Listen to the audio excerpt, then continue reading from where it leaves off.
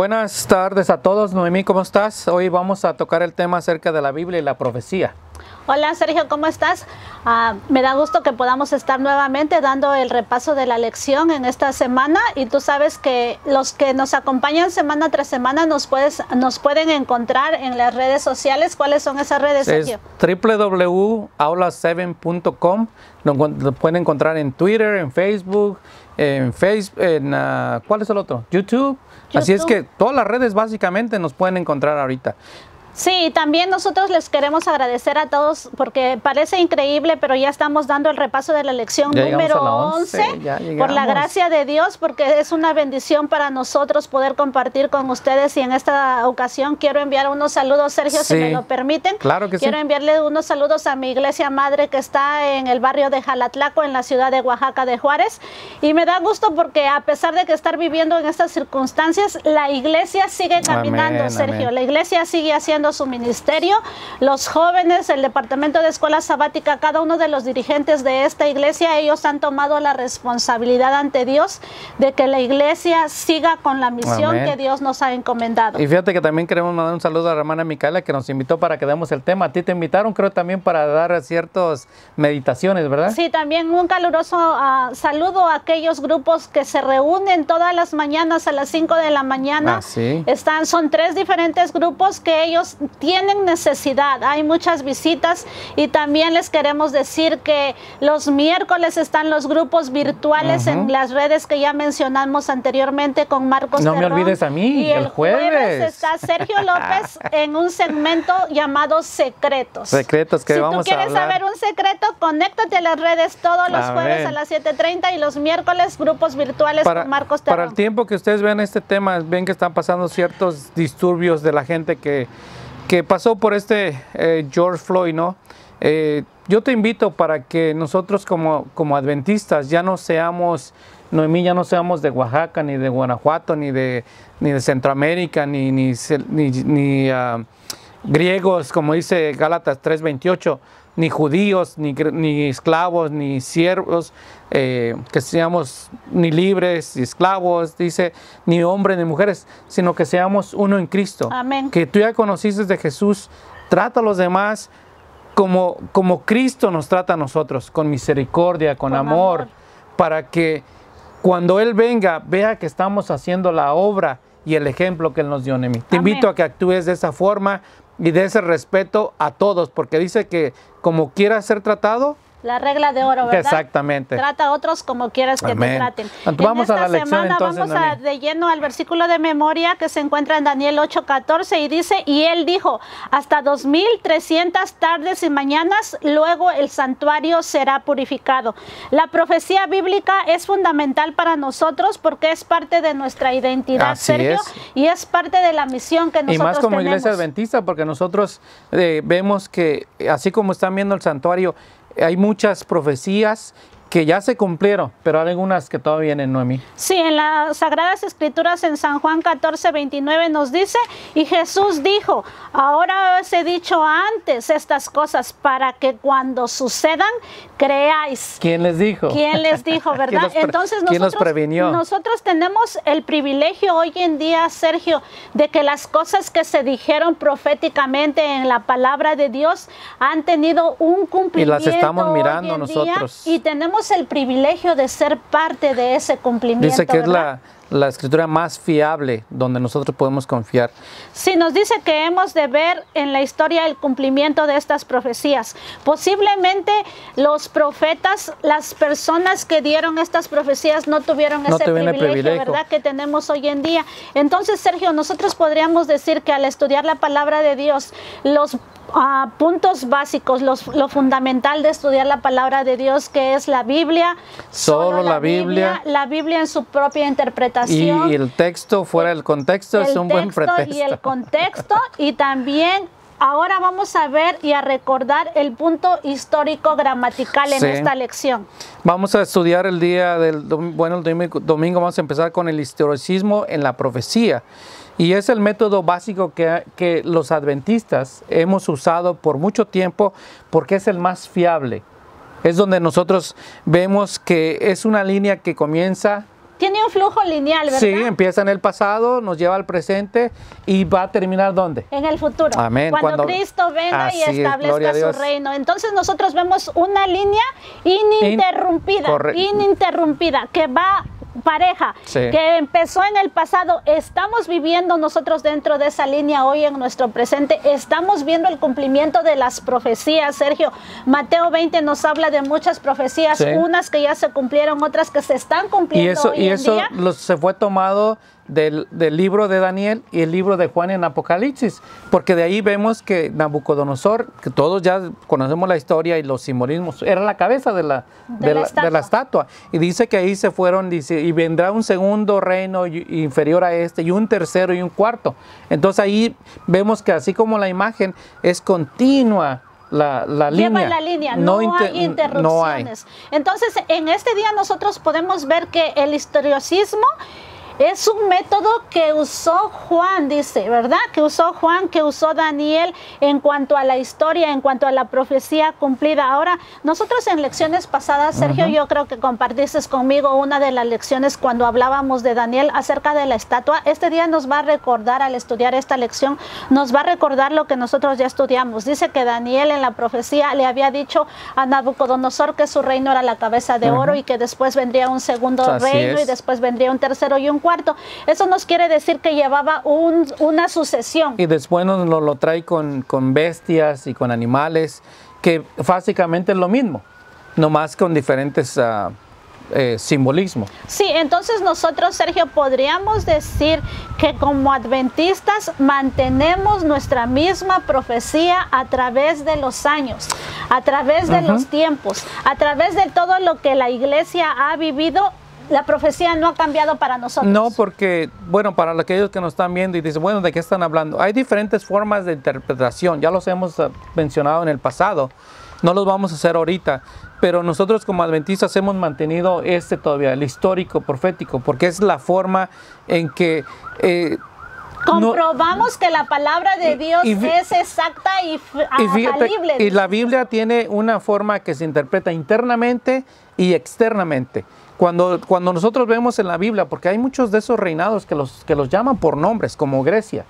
Eh, entonces, pero cuando tú vas a la historia, como, como lo hacemos en, en nuestra, en- cuando estuvimos en la escuela, la historia viene a, a corroborar, o- corroborar lo que nosotros va- ven- o vemos en la para aquellos que son Dios. un poquito más, se podría decir, incrédulos. Si tú no crees la Biblia, puedes ir a la historia, pero la Biblia sola no necesita de la historia porque ahí te lo menciona y lo hemos visto. En Sí, aquí en la parte de abajo de este día del día domingo nos dice, hay una gran ventaja todos los que vivimos en la actualidad porque ya ha transcurrido tanta historia con respecto a alguien que vivió en los tiempos de Babilonia. Sergio, ¿podríamos decir entonces que nosotros tenemos ventaja sobre aquellas personas que se les fue profe- profetizado? Sí, porque nosotros hemos visto, pero hay otros que vienen, que van a ver, el, o sea, a lo mejor no nos toca a nosotros A ni mí mejor no nos ver, toca. ver la venida de Cristo, pero eh, ellos van a terminar de ver esas profecías, que son pocas las que nos faltan. Sí, Sergio, tú has dicho una cosa, a lo mejor no nos toca ni a ti ni a mí ver venir al Señor en gloria, ¿verdad? Pero nuestra fe tiene que mantenerse firme. Amén. Yo no sé si en esta ocasión nosotros estamos hablando para una persona que ha estado ah, sufriendo, no sé cuál sea el sufrimiento que estén pasando, pero tu fe tiene que estar firme. Eso es lo único que nuestra esperanza nos lleva a hacer. La semana pasada estábamos estudiando que no solamente basta tener la fe, sino necesitamos tener una acción como consecuencia de la fe, ¿verdad?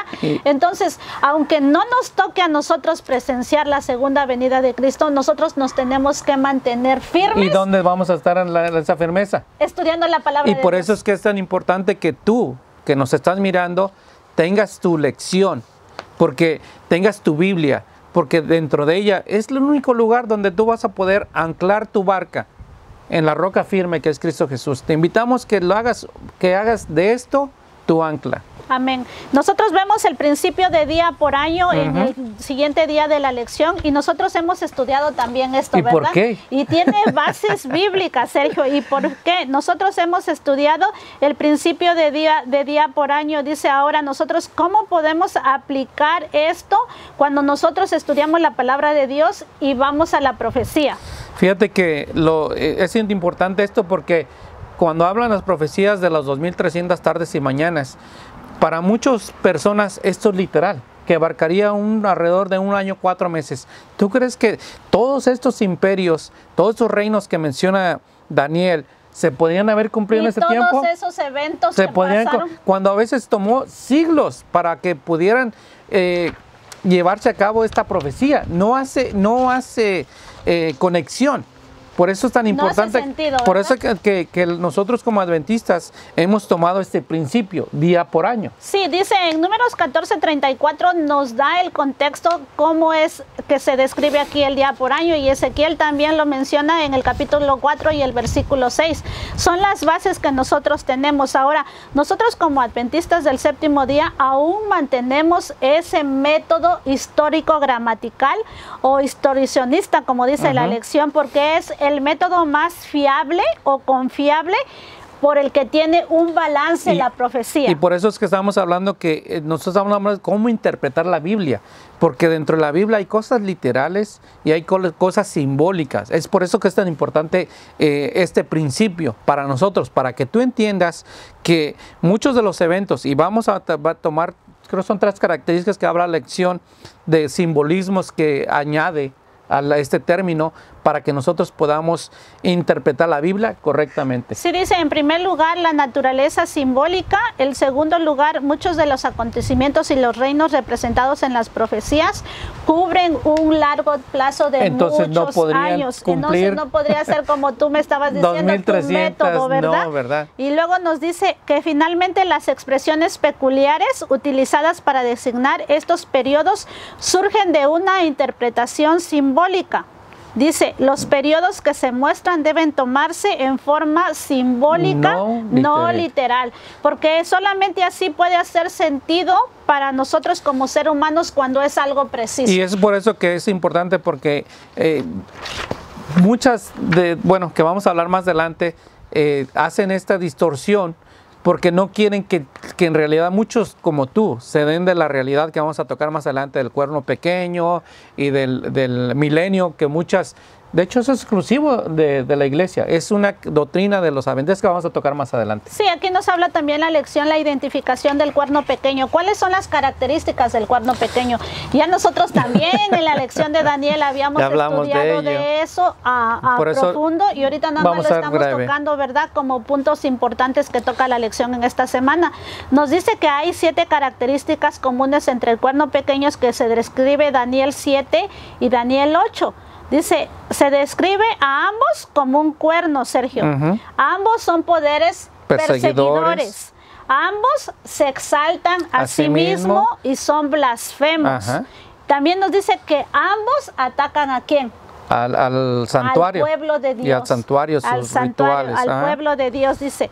También nos dice aquí que ambos se extienden hasta el tiempo del fin. Y, y- y vemos que ahí, para los que no, no quizás no los tomaron, este es, uno de los reinos que menciona Daniel dentro de los cuatro, pero que cambió su forma de ser un reino a un sistema espiritual, papal, y que esa forma un sistema político religioso lo podríamos Pues llamar sí. de esa forma. cambió su, su forma de, de actuar y se metió en, lo espiritual. Y vamos a ver qué más. ¿Cuáles Sí, son los nos demás? dice también que el papado hablaba palabras contra el Altísimo y se engrandeció contra el príncipe de los ejércitos. Daniel 8:11, al Al usurpar el papel de Jesús y reemplazarlo por el Papa. También nos dice que se cumplió la predicción de que perseguiría a los santos del Altísimo. Como nosotros podemos ver las características del cuerno pequeño, tal y como lo había profetizado Daniel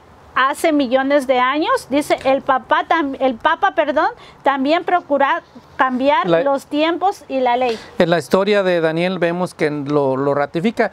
Y fíjate que esto no es algo nuevo, porque esto los reformadores en, en- en los años 1500 es cuando ellos de- dedujeron todo y sacaron todo esto. Quizás para ti pueda ser nuevo porque no lo has visto, pero esto tiene eh, ya alrededor de cinco siglos que los reformadores se dieron cuenta que el, que el cuerno pequeño era el Roma, am, papal.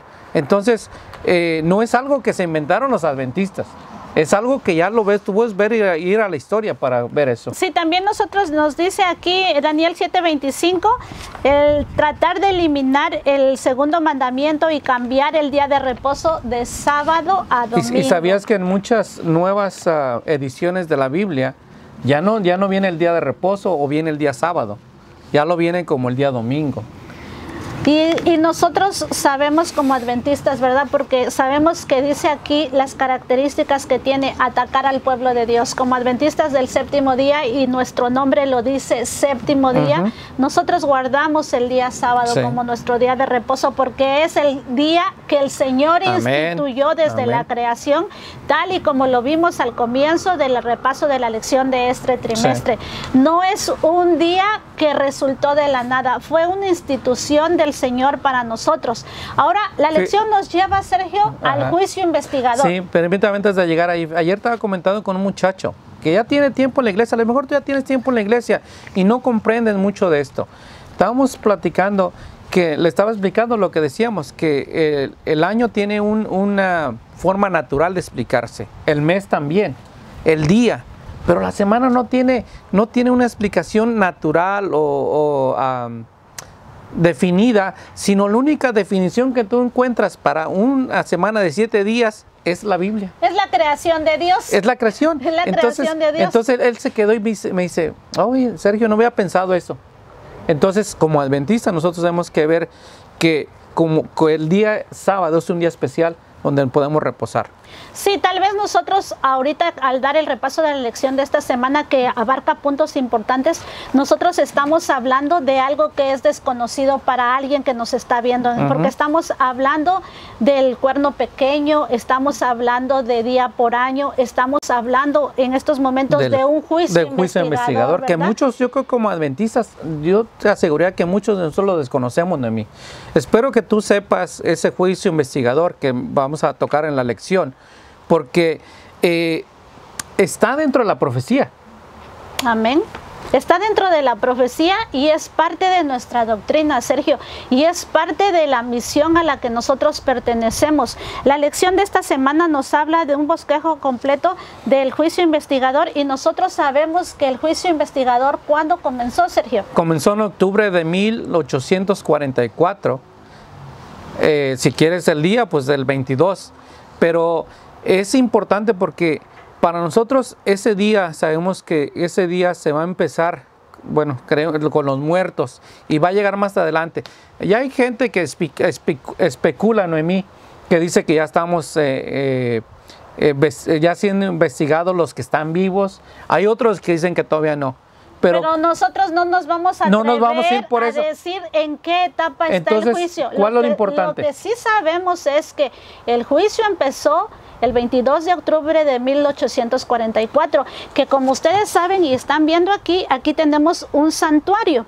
Uh -huh. Este santuario dice que es el plan de salvación para nosotros, el plan de salvación. ¿Y por qué es tan importante? Y la lección de esta semana nos habla también acerca en el día siguiente, nos habla la tipología como profecía. Esto es una profecía para sí, nosotros. Es un ejemplo que, que, Dios le dio, porque este santuario lo fue tomado de Moisés, de una, de un, de, de que lo, se lo de mostró Dios, del que está en, del que está, en el, que cielo. está en el cielo. Entonces, esto era para que nosotros veamos y dentro de él está ese eh, juicio investigador. ¿Por qué es importante? Forma parte del sí, juicio de la, investigador. ¿Por qué es tan importante? Porque tú no sabes cuándo te va a llegar a ti, pero lo que sí puedes saber tú es que tú te puedes preparar a hoy, estar listo, porque no sabemos cuándo vamos a ser nuestro nombre ser pasado o cuándo vamos a ser llamados al descanso. Sí, y nosotros sabemos que ese día que el juicio investigador comenzó, Jesucristo pasó del lugar santo al lugar santísimo, ¿verdad? El lugar santísimo que forma parte del santuario. Ahora, como tú dijiste, Sergio, nosotros no sabemos en qué etapa va el juicio, pero lo que sí sabemos es que todavía aún hay tiempo de una preparación. Entonces, si tú no has tomado la decisión, te voy a invitar, porque eh, si no has tomado la decisión de seguir a Jesús, yo sé que ahorita las iglesias están cerradas, pero puedes llamar a tu pastor local, que te lleven a algún río, y tú y él hacer una comunión con Dios y ser bautizados, ser parte de, este pueblo y conocer de la salvación que se encuentra aquí en el, en el santuario para que tú puedas estudiarlo. Porque, ¿Por qué es tan importante, Noemí? Porque eso forma parte del plan de salvación de Dios para con nosotros, porque eso a nosotros nos da, nos da la esperanza y aquí nos habla de la tipología de, de, de la profecía. Nosotros sabemos que hubo muchas profecías y sí. una de esas profecías fue la profecía mesaica. Y la profecía mesaica es tan importante que forma parte del santuario también, porque si Cristo no hubiera venido, si el verbo no se haya hecho carne, si no hubiera no muerto por nosotros como el cordero moría, moría y, todos los días. Y no haya muerto por nosotros, entonces entonces, ¿cuál sería nuestra seguridad de Ninguna. salvación? Ahora, la lección de este día nos habla y nos dice que Pablo, el apóstol Pablo se remitía a los escritos del Usaba Antiguo muchas. Testamento para poner ejemplos de lo que nosotros estamos pasando hoy en día o de lo que va a suceder más mismo adelante. Dijo, mismo Jesús y dijo los ¿cómo. ¿cuándo va a ser la venida del hombre? Dice, como en el tiempo de Noé, usaba esas impresiones que ya tenía para traértelo al presente, para traérmelo a mí y decirte, prepárate porque tú no sabes el día ni la hora, porque va a ser como en el tiempo de Noé. Sí, la lección de este día nos dice, piensa en el servicio del santuario terrenal que funcionaba como un tipo de plan de salvación. ¿Qué nos enseña esto ahora acerca de la importancia del mensaje del santuario para nosotros hoy? ¿Qué es lo que nos enseña? ¿Qué Fíjate- es lo que nosotros podríamos ah, resaltar en esta ocasión? Eh, es bien importante y yo por eso hacemos más énfasis a aquellos que no conocen, que, que vayan y busquen en los primeros cinco de los libros de la Biblia la relación que tiene el santuario para con nosotros, porque es importante. Todo lo, lo que, lo que está aquí, lo que tú estás mirando, desde el lavacro, desde el altar, el, el, el, el acta, el- el acta del pacto, eh, los panes de la propiciación, el candelabro, todo tenía una relación directa con Jesús y el servicio o lo que él venía a, a hacer por nos, por en favor por de nosotros. Sí, entonces nosotros podríamos decir que todo tiene una relación. Este trimestre hemos estado hablando de la Biblia, cómo estudiar la Biblia. La Biblia, solo, Solo la, Biblia, Biblia. la Biblia siendo su propio intérprete. Eh, La Biblia es histórica, gramatical, para que haga lógica en nosotros el texto y el contexto. Los queremos seguir invitando a que estudien con nosotros la próxima semana. Acuérdense que estamos por terminar el trimestre y vuelvo a decir otra vez, es una bendición poder compartir con ustedes la lección de escuela sabática. Sabemos que están sucediendo muchas cosas alrededor del mundo, no solamente la pandemia, han estado sucediendo otras cosas que lo único que nos hacen a nosotros es reflexionar del tiempo en el que estamos Y viviendo. fíjate, Sergio. y, y la, la lección de, para aquello que nos está, te la vamos a dejar el título. Cómo interpretar pasajes difíciles. Y es ahí donde muchos de nosotros a veces nos confundimos. Y es tan importante. Así es que síguenos por las diferentes plataformas. Eh, si no te has suscrito, suscríbete. Te esperamos los, jueves los jueves y miércoles a las siete y media. Y mientras tanto, que Dios te bendiga y trata a los demás como quisieras ser tú tratado. Sí, les queremos dejar la invitación nuevamente. Estamos en las redes sociales www.aulaseven.com. Si tienen algún comentario, dejen su comentario. Sus comentarios van a ser contestados. Yo sé que el que está detrás de la producción va a tomarse el tiempo para contestar esos comentarios. Si hay alguna necesidad de oración, también pueden contar con nosotros. Hay muchas maneras de poder estar preparándonos hoy en día. Busca la manera que sea más factible para ti, más fiable para ti, pero conéctate, conéctate con Jesús, que esa es nuestra fuente de salvación. Quédate Amén. con nosotros y que tengan una semana llena de bendiciones en la paz y en el amor de Dios. Hasta luego.